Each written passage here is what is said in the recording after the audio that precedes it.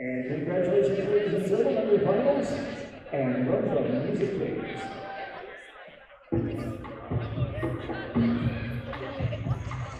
Roy, no,